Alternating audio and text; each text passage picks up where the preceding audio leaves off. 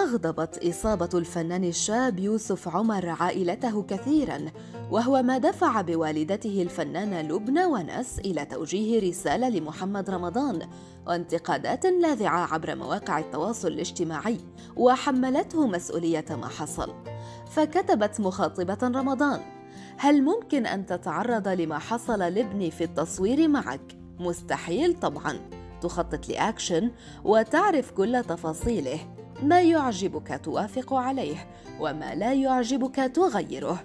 لا أحد يفرض عليك شيئا. وسألته هل أنت بني آدم؟ وابني ليس بني آدم.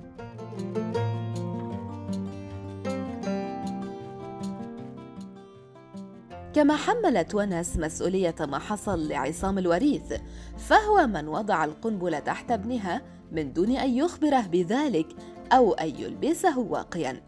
كما أكدت ونس أنها لن تتنازل عن حق ابنها ووعدت بمتابعة الموضوع متهمة الوريث بأنه لا يعرف قواعد عمله وأنه يستهين بحياة الناس.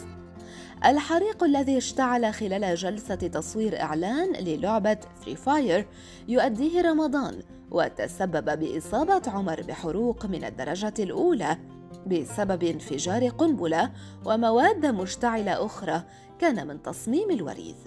يشار إلى أن الوريث هو شاب يعمل في مجال تصميم المعارك والمشاهد الخطرة في الأعمال الفنية وهو متخصص بالأكشن والخدع السينمائية المرتبطة بالضرب واستخدام الأسلحة والمتفجرات.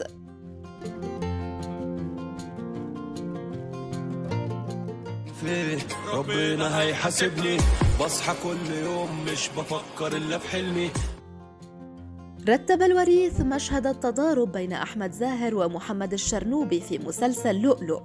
كما صمم مشاهد أكشن في أعمال أخرى مثل الرجل العناب والعقرب وزنزانة سبعة.